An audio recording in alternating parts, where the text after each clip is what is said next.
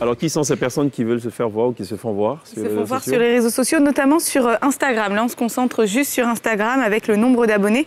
Et on commence avec Emaloes qui a 2,3 millions d'abonnés sur euh, Instagram. En deuxième position, on retrouve Série Dorcas avec 1,5 euh, million d'abonnés sur Instagram. Troisième position, c'est la chanteuse José, avec 1,5 million d'abonnés sur Instagram.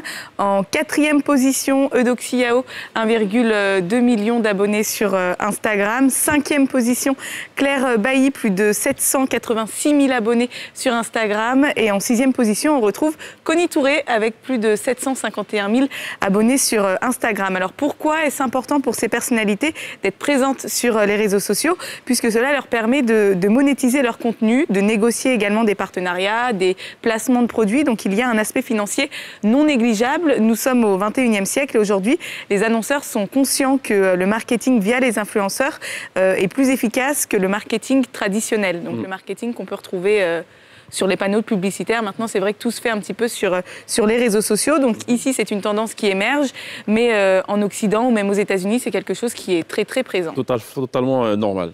Merci pour ce listing des personnes qui aiment se faire voir sur les réseaux sociaux.